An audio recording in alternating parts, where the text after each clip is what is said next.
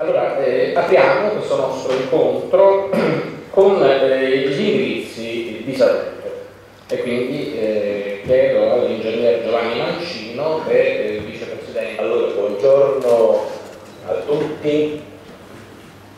grazie per essere qui presenti a partire dal tavolo dei rilevatori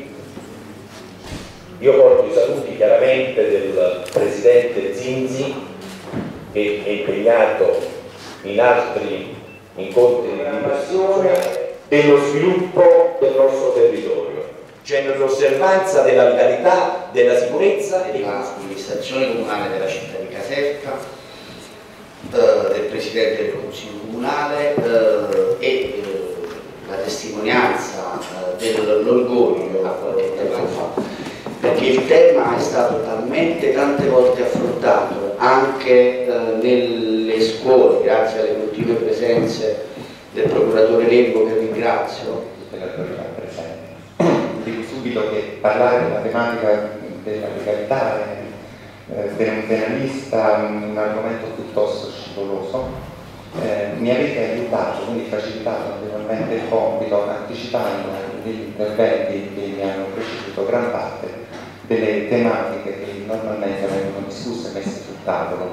eh, in materia di legalità. Certo c'è una sorta di dimensione domestica della legalità, direi, che quindi parte dal nostro modo di essere, dalla coerenza tra quello che siamo, quello che pensiamo come agiamo.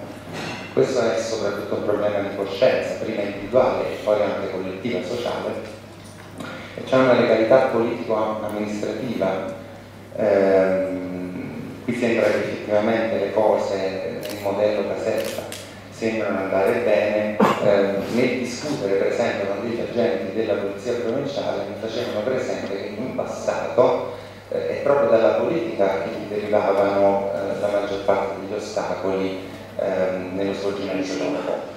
quando ci sono uh, difficoltà economiche innegabili, quando la gente non riesce a vivere con serenità, la tentazione di che ovviamente con tanto interesse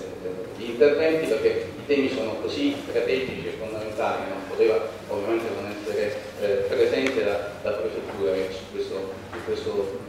versante eh, quotidianamente